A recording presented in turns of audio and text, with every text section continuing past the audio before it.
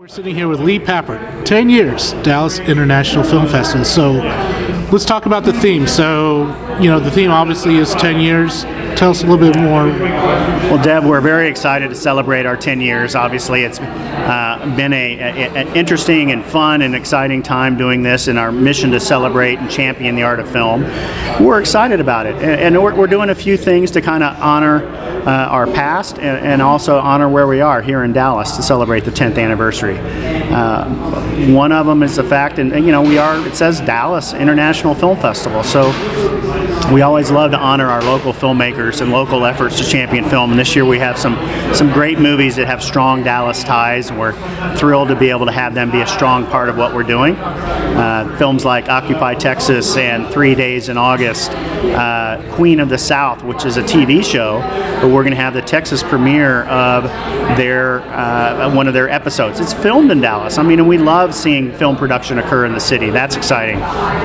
The movie Signs of Humanity is a great story made by a local Dallas professor, a documentary talking about the homeless issue, and we're thrilled to be able to work with Willie and his team uh, and, and, partner with some groups tying into that. And then to honor as well the Dallas Winds uh, and John Williams. Um, I think you know we partnered with the American Film Institute the first three years, yep. uh, and where it was a great partnership, and we continue to work with those guys on a lot of different things. Um, and they're honoring this year, they're honoring John Williams as their Lifetime Achievement Award winner, uh, and we thought that was a great way to pay homage to to that event as well. So we're going to have a concert. We're going to have the Dallas Winds join us on stage. We're going to do a 30-minute John Williams concert, some music from Star Wars and E.T. and uh, the movie 1941 and some other things. Uh, and then uh, we're going to show the movie E.T. And absolutely thrilled to be able to do that with Henry Thomas being there. Elliott's going to be here. Why E.T.? I mean, there's a lot of films that John Williams have done, but why E.T.? What what spoke to you about? It? Well, E.T. is just one of those. long-standing great movies. I mean, I, I, watched it in the early '80s when it came out and absolutely loved it, and, and I think it holds completely together uh, now as a movie, and we're absolutely thrilled with that. Uh, and it's just a great movie. And plus, you get to have Elliott there. Elliott's going to be there. Henry Thomas is joining us, and that's going to be fun. So, talk to us about how you're paying homage to the last 10 years. As you said, the first three years was AFI Dallas, then we turned into the Dallas International Film Festival. What are we going to see at this year's festival that pays homage to all 10 years? Well, uh, you know that um, every time we screen a movie, um, we tend we need to say thank you to the folks who make that possible. So our festival trailer this year uh, has a lot of clips from past film festivals. Uh, so in the when you're watching those movies, when you're going to see your movie, you're going to see in essence a little highlight reel of past film festivals, and we're doing multiple uh, multiple different trailers. So you won't see the same one every single time. You're going to see three or four different ones. Going to go up on screen. So you get to see highlights, a, a sizzle reel basically, every time you go see it, uh, including highlights from all the different past film festivals. And so that's that's that's one thing we're doing. Obviously, what we're doing with Mr. Williams and the AFI thing is another part. Having a strong contingent of Dallas films is important to us, and that's another big part.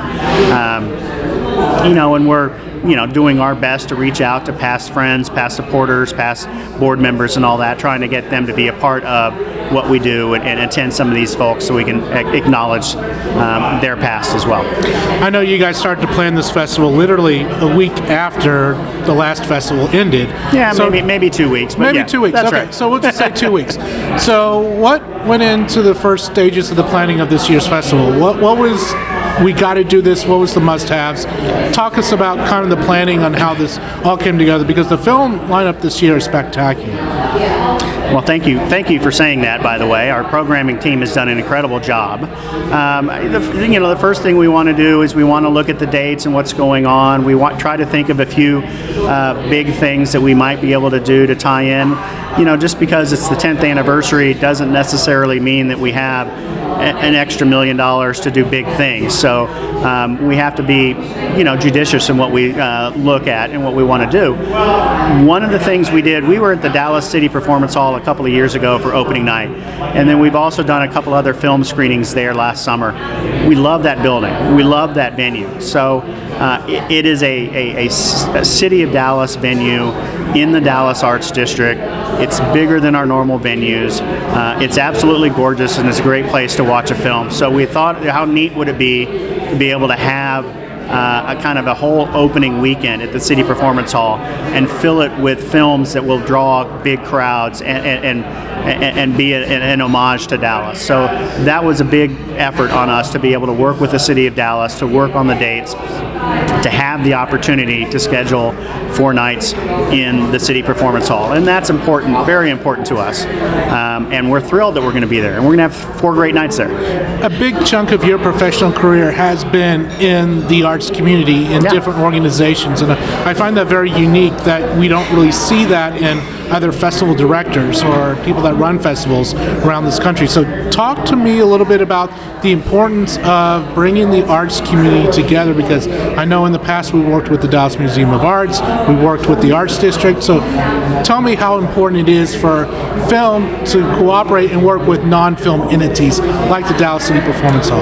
Well, we, you know, the, it, it is important. Film absolutely is an art form. That's our whole mission, is to celebrate the art of film. Uh, it is a film. Uh, film is an, an art form that incorporates uh, the art of painting. It incorporates the art of music or music writing and, and, and, and performance. It incorporates acting, stuff from the theater. So you're acting. You have that directing, um, opera. All of that stuff can go into film. So it incorporates all of that. And we think it's important to bring that attention to as many people as possible. Yes, film is entertainment. Don't get me wrong. I, I you know, Batman versus Superman just made 200 million dollars or whatever. It entertains. Don't get me wrong. I get that. But it, but it is, it, it truly is a viable and important art form that should be appreciated and recognized for that. It's also extremely impactful and it can change a story, it can change a mind, it can uh, help people look at something a little differently and see something new. So we think by partnering with all these different entities, by having High School Day in the Dallas Arts District and working with Clyde Warren Park, the Crow Collection of Asian Art, the Dallas Museum of Art, the Nasher Sculpture Center, by working with the Dallas Arts District and the City Performance Hall, uh, by working with Alamo Drafthouse and the Angelica Dallas and uh, the other theater companies that we work with, we're able to bring our story and our message to more people because we hope that their guests will learn about us because they in turn help promote our programming and vice versa. So we're trying to help people recognize there is a strong, viable, active, energized film community in Dallas and one that should be embraced and supported. What is the secret sauce then? Because you know we look at other film festivals around this country and around the world that doesn't embrace the arts community, the non-film arts community. So, what is your secret sauce in those partnerships, and why other film festivals don't do this? I, well, I can't speak for the other film festivals. I, you know, I don't know why they don't. I, I just, you know, Deb, I was, I'm a Dallasite. I was born and raised here. I love this city, uh, and, and and in my nonprofit career, as you mentioned, I've done this for 16 and a half years now in multiple venues, multiple arts groups. I just think that we're a better city and a better community. Uh, if we can work and partner and raise the bar for everyone. We, you know, the rising tide raises all ships. So I like to work with all the other groups, and if we can, if it makes sense for both entities, if the timing works, I mean, a lot of it has to come out work right because they have their own programming and all that. You don't know how everything's going to work. But I just think by doing that, it, it, it, it, it, it opens the door for more opportunities and more partnerships. Uh, in turn, we're all helping each other. Uh, and, and if anything that I can do and what I do on my side of the thing here at the, at the Film Society and with DIFF is trying to bring just more opportunities and partnerships to the table because we all win. Let's talk about those partnerships because there's a lot of partners in this film festival that's been here for 10 years. Yeah. You know, we're sitting down the hall from the Angelica Film Center that has been a partner for 10 years. So, kind of talk to me about the partnerships that you guys have and how important are them and how do you foster them year after year? Well, it's just in my mind, it's just good business. You treat people with, res- with respect. We acknowledge the fact that uh, you know we are a nonprofit, so we're trying to uh, secure the best rates possible, or in-kind donations, or whatever it may be. But you treat everyone with respect. Um, you say, "Here's what we're trying to do. This is what we'd like to do. Uh, we're excited about uh, building that relationship with the Angelica or People's Last Stand or the Arthur E. Benjamin Foundation or whomever it may be." And then you, you, you work with them and try to understand their needs and what they're trying to do, uh, and then you try to help them meet those needs. Uh, just business. But if you do it well and you do it with respect, I think you can foster those relationships. And you know, sometimes some things don't go well, and, and if that does, if that happens, you acknowledge it and, and you move forward from it, and you you help make it better.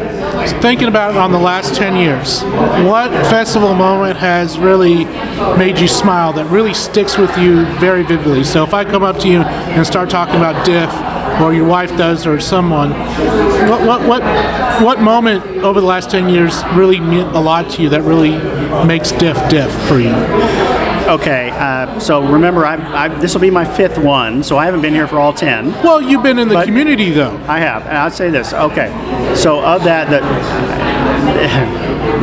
I really loved sitting down to visit with Stephen Root, uh, 2012 or 2013. I forget which year it was. Stephen Root is one of the great character actors. I mean, he's from The Office. He, you know, had the red stapler, dodgeball. Uh, you know, he's done everything, and he's just the nicest man. And I sat down, I was able to visit with him at one point for about a half an hour, and we had a great time chatting and talking. He couldn't have been more humble and genuine. Uh, and just had a great time sitting and talking to him. That was an absolute blast. And then the second thing that jumps out to me the most is um, I mentioned earlier I was born and raised in Dallas. And one of my next door neighbors and one of my best friends growing up, and is still one of my best friends, is a guy named Doug Mankoff. So Doug is a filmmaker and li- a producer and lives in Los Angeles now and has had a terrific career in the film world. And we've worked with Doug a handful of times. Uh, but in my second year, I think it was here, we showed one of Doug's films, and I got to introduce Doug and introduce his film, and then lead a Q&A with Doug afterwards. And that was an absolute joy for me because, um, like I said, he's a brother. Uh, I've known him literally since I was born, uh, and to be able to do that together in front of everyone, in front of a lot of family and friends, and talk about his movies and his career in the film world, it was just uh, an absolute pleasure. Let's talk about your childhood a little. So, how did film make an impact you growing up, and where, where around town did you grow up? Well, I, you know, I grew up here in Dallas. I was born and raised here, uh, kind of North Dallas uh, area. Went to school here, and then went to school college in California, but came back. You know, film. I was always a film fan. I was never really interested in producing or making movies or acting or directing or anything like that. But I've always loved movies. So you know, when VHS came out, you know, I started taping movies and thought that was the coolest thing, and um, and, and, then watching movies again and multiple times, and then um, DVDs and Blu-rays. I just love movies and would watch them, uh, you know, a lot, but you know, not like our film programming team might watch movies a lot, but you know, every weekend or you know, every couple of weekends going to the theater. I remember going to North Park One and Two here to see Star Wars or The Godfather on uh, Godfather Part Three on Christmas Day, uh, 12 o'clock. A lot of the Jewish community of Dallas was there, so a lot of family friend, friends there that time. Uh, so that was pretty fun. Um, and it just so film has always been a, a, a an outlet, a resource, a, something fun for us, for me. Um, I never really thought I'd end up in the film side of things, but the opportunity to join DIFF came up, and, and I liked the the idea of being in the film world, but also working on a project that really I think is vital to the city of Dallas, and I think can be a huge opportunity for the city of Dallas as we continue to grow and build over the next you know five and ten and twenty years. What is in your film library? What you know, if we come over to your house and what name me off three films that you would show us that is your favorite films that, in your opinion, is a must see? Uh, at my house right now, I don't have a huge collection, but I definitely have some movies. Uh, To Kill a Mockingbird, uh, one of my favorite movies, one of my favorite books of all time. That's certainly on the list. Blade Runner, uh, the Ridley Scott classic. Um, I, I, can't deny that I have a, a, warm heart for a good romantic comedy. Um, my wife likes that about me. Uh, you know, God help me, I'm going to say this on print. While you were sleeping, um, you know, just makes me laugh and makes me happy. Uh, so there's some great, you know, rom coms in my library. Uh, but I can't deny that I also have pretty much all the good Marvel movies and got all the Matrix movies, all three of them, even though only one of them was really good. Uh, I've got all that. So that's, um, and there's some others. To Kill a Mockingbird. Yeah. What really touched you about that film? What, what speaks to you about To Kill a Mockingbird? Gregory Peck. Um, just Gregory Peck's performance. Um, and just the story that they tell. Uh, I can't help but get teary eyed. Uh, I'm going to get teary eyed now talking about it. Uh, the courtroom scene at the end um, or not at the end, at the end of the courtroom scene. Uh, it's just America. It's well told. It's smart. Uh, it's respect for people and individuals that, that we need to honor, and we don't always do that. Uh, it'd be nice if a lot more people would go back and watch that on a regular basis and remember, I think. Um, and I always smile when I see uh, uh, Robert Duvall in his first role. See Boo Radley at the very end. Um, hard to believe that you know yeah. he, that, that he, he was in that. So it's just it's so well done and and, and Peck is just brilliant in that. And we had, you know, Peck's daughter here a couple of years yes, ago. we did, and we love that. And I got a chance to meet her, and it was such a, it was an honor to be able to talk to her about her about her dad for a little while. That is awesome. So, you know, when I started out, you know, I started out volunteering for AFI, and then I was thrown into the yeah. volunteer coordinator position when the volunteer coordinator left. Yep. Three days before the festival, and love you know. That yeah, I know it was exciting. Throw you know trial by fire. So, you know, we were working out of this, you know, this model home for the W Hotel and brought our own laptops and stuff, but people didn't really believe that it would have happened. So, you know, what, what, you know, I mean, I guess my question is, is what do you, what do you, what's the next ten years like? What is the next five years like? Well, you know, the next five years are an opportunity for us. We continue to build a great reputation with the filmmakers. Uh, they love coming to Dallas, um, and they have a good time when they're here. You know, our challenge in a, in a big picture, and my, my focus is the, you know, on the, the marketing side and the development side is, is these things are not inexpensive to uh, produce.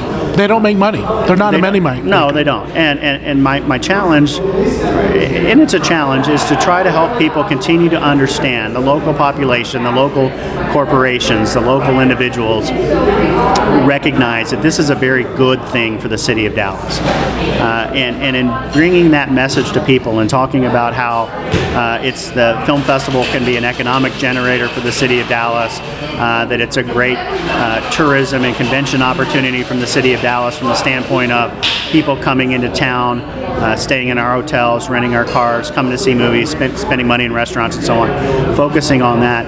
Once people really kind of grasp that, they, they, they buy, buy into the concept that, hey, if we have a really big and thriving and exciting film festival, that puts Dallas on the map, not only locally, but regionally, nationally, and internationally.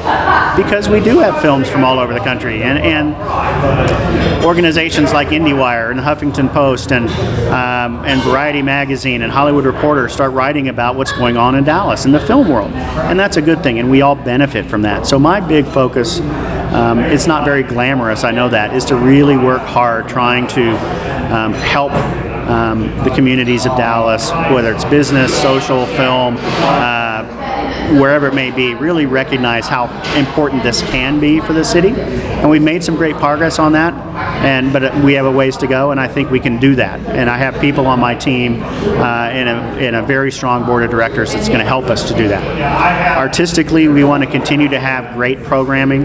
James Faust and Sarah Harris, I think, are the best in the world uh, at film programming. I, they're fantastic. I agree. They're the gold um, standard.